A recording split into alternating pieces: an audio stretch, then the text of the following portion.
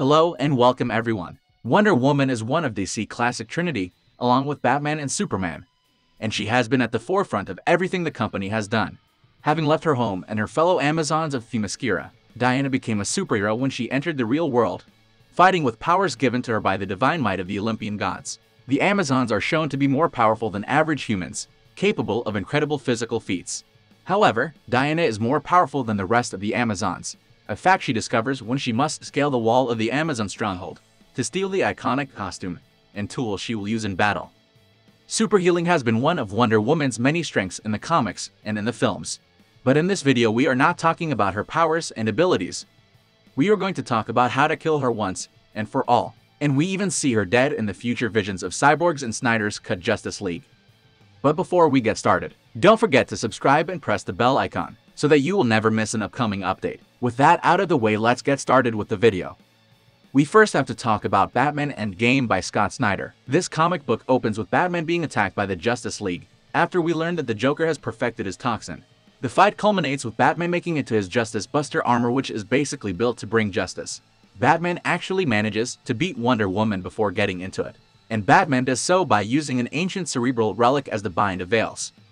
In the movie Wonder Woman 1984, Diana says that her power mainly comes from the lasso of truth, which is a pure symbol of truth. Wonder Woman is seen as the embodiment of truth, and her latest movie even ends with her using the idea of truth in order to defeat Maxwell Lord. Thus the best way to defeat her is through the power of lies, and Batman manages to do this in Endgame by making her believe that she has won, so the Amazonian goddess gives up the fight. However, in this situation, she was not killed. And in this video, we have to discuss how to kill Wonder Woman once and for all.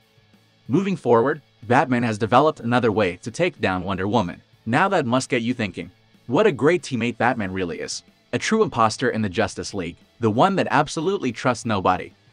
In the comic book story Justice League Tower of Babel, we discover that Batman doesn't truly trust any of his teammates in the Justice League, and he had planned a contingency plan for the entire league, in case any of them went rogue. This story was adapted in Justice League Doom. Bruce had big things planned for Wonder Woman in the storyline, whereas in Endgame, Bruce had her believe that she had won. In this one, he actually made her hallucinate that she was facing an opponent that would not die. Every person that Wonder Woman came across, she thought them to be the villain that would just not die. And because Diana was trained to never give up, she attacked everyone. She fought everyone as she went around on a rampage. This then alarmed other members of the League, and Diana fought the members of the Justice League too.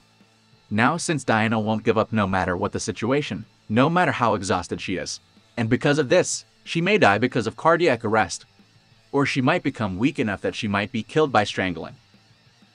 In Joker issue 10, the Clown Prince turned Wonder Woman's lasso of truth against her and used it to kill her. Lasso of truth is Diana's most trusted weapon and is also her biggest weakness. As it has been said in Wonder Woman 1984, the weapon is powerful than she is and is capable of killing her if used correctly. And Joker does exactly that. And for some reason, if that doesn't seem to do the job, then you can use powerful weapons of gods. And these have been used against her in the comics. In the new 52 Earth 2 Volume 1 book, Diana was actually killed by Steppenwolf who thrust his gigantic sword through her back. This killed Wonder Woman.